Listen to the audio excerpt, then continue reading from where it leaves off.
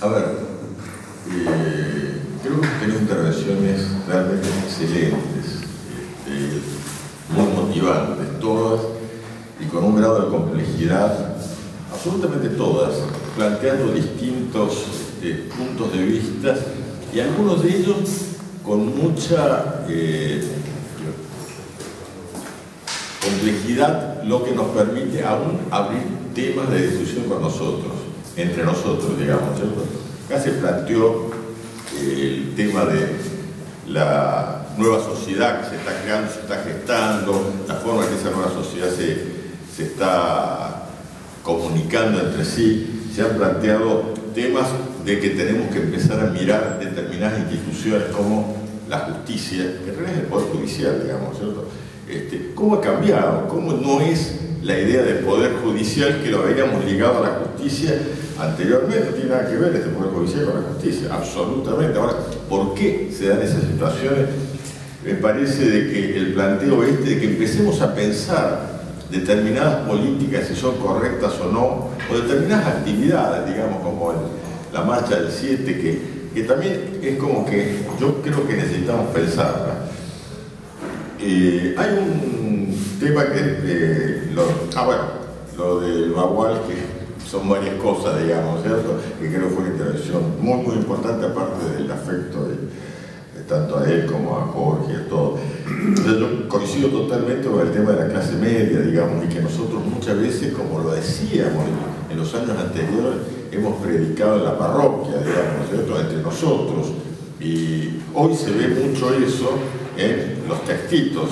O sea, a uno le llueven permanentemente textitos que son solo para nosotros. A nadie que no piense como nosotros se le ocurriría leer esos textos con chistes muy creativos, pero me parece que ahí tampoco hay una búsqueda de la posibilidad de buscar otros interlocutores que inevitablemente nos van a llevar a reconocer algunos errores, falencias, déficits que hemos tenido.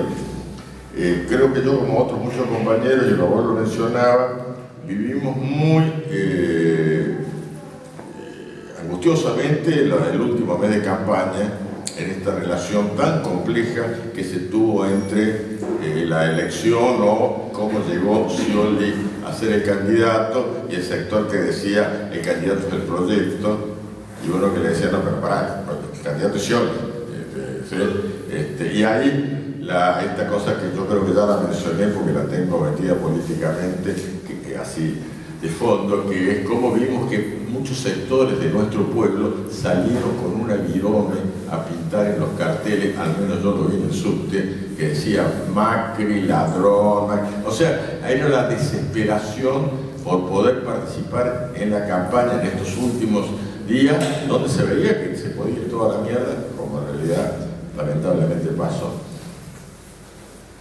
una sola discusión, ¿no? Es decir, es el nido del, del, monstruo, pero no nos dejé a los cordobeses afuera, que también tenemos los maestros.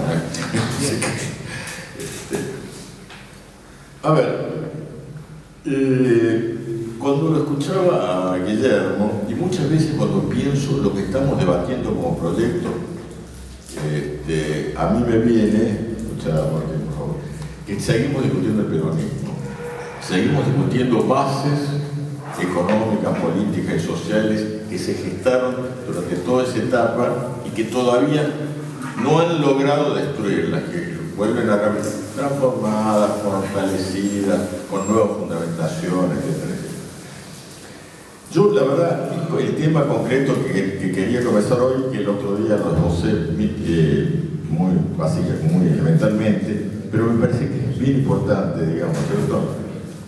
Es yo creo que la derrota, digo, sí, la derrota, la asunción de nosotros partimos, no que nos ganaran, tuvo algunos elementos que hoy podemos pensar, ¿no es cierto?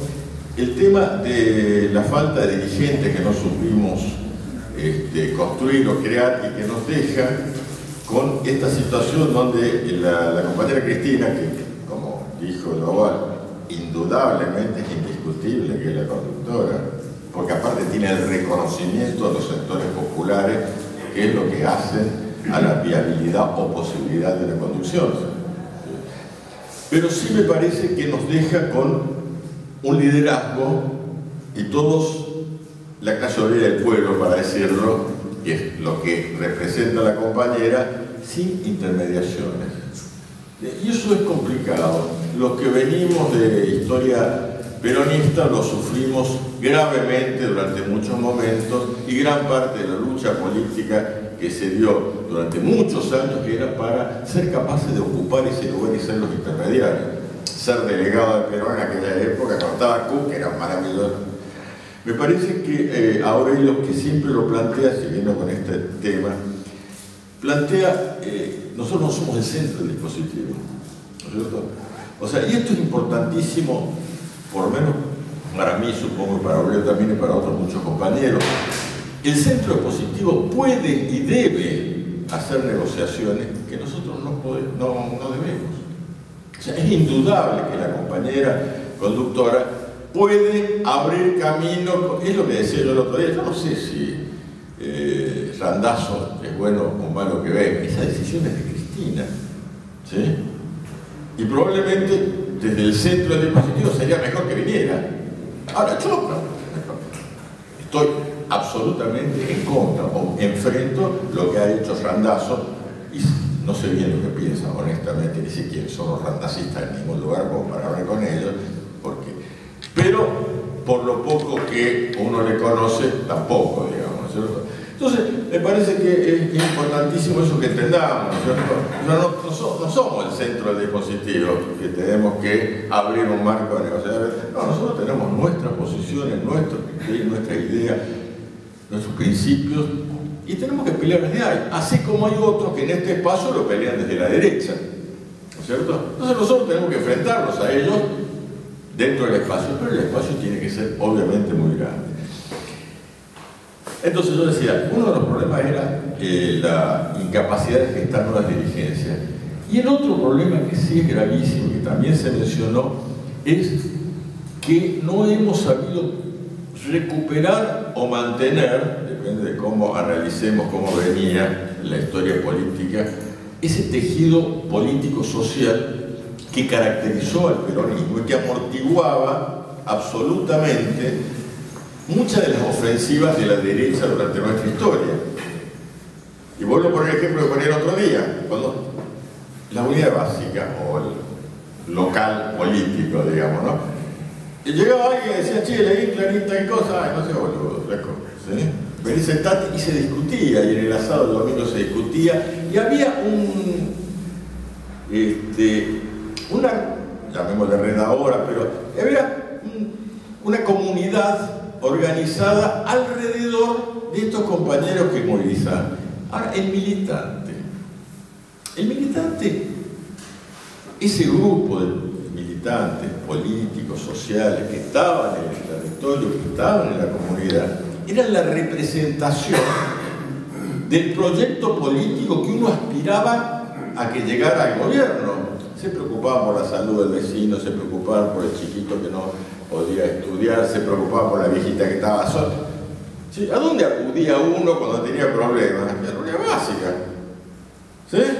Y de ahí aparecen obviamente todas las derivaciones que después han sido brutalmente este, criticadas eh, con relación a los punteros. Entonces, han tenido muchos de ellos, otros lo aprovecharon mal, son absolutamente criticados, pero muchos de ellos surgieron de que tenían un coche viejo y venía la, llevaba al chiquito al hospital a las 3 de la mañana y los que era, estábamos en la unidad básica sabíamos los hospitales de la zona y teníamos amistad con el vicedirector o con el médico tal que nos guardaba una cama y que atendía, etcétera, etcétera, etcétera. Y los tours, bueno, todo eso yo creo que ese tejido social y político, eh, insisto, no sé si lo perdimos en esa etapa o se venía perdiendo permanentemente, pero es un sostén de algo, esa reconstrucción del movimiento desde la reconstrucción de ese tejido social es una tarea que tenemos que realizar. Me parece que es muy importante. Hay que esperar elecciones, etcétera, etcétera. Y estamos, como decía el otro día, caminando hacia el 19. Pero en ese camino tenemos que recuperar ese tramado esa relación con la comunidad que este, nos dio vida desde 45 en adelante. Último punto, que era el que más me interesaba. Ese trabajo social, esa visión política, esa, ese reconocimiento de quién era el actual sujeto transformador de la política en nuestro país que diera más justicia y libertad, para muchos de nosotros que accedimos a la política, desde donde viniéramos, ¿eh? era la clase obrera y el pueblo, pero la clase obrera centralmente. ¿sí? Para los peronistas, el movimiento organizado era con una vertebral. Para los compañeros que venían de la izquierda, obviamente, que era quien llevaba en la mochila este, el cambio y quien el capitalismo había gestado como su. Este, quien lo iba a destruir, digamos. O sea, el proletariado.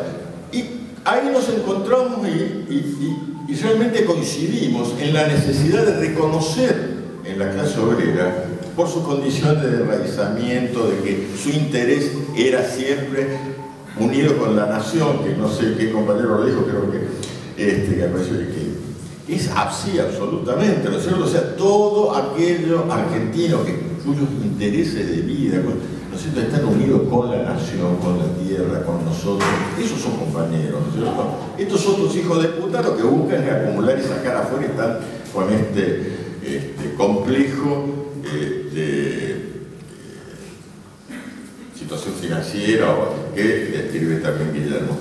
yo creo que nosotros estamos viviendo ahora una eclosión brutal, despiadada por parte del macrismo de despidos y eh, sanciones a situaciones que se dan en todo el país con despidos horrorosos, con familias que son lanzadas a la miseria la verdad que uno se pone a pensar, una familia que no tiene que darle comer a los hijos, realmente hay que ser canalla como esto. Bueno, la sensación es que nos, por más, me pasa a mí, sobre todo, no estamos cerca de esos, ellos.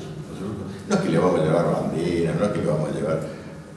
Seguramente hay compañeros en situaciones locales que al ser la empresa que está cerrando, que, que sí, aparte tienen un conocimiento, pero sí me parece que es importante que nos acerquemos a estos compañeros que, insisto, probablemente nuestras agrupaciones lo están haciendo de distintos lados, pero si no lo están haciendo, que nos acerquemos, que estemos ahí.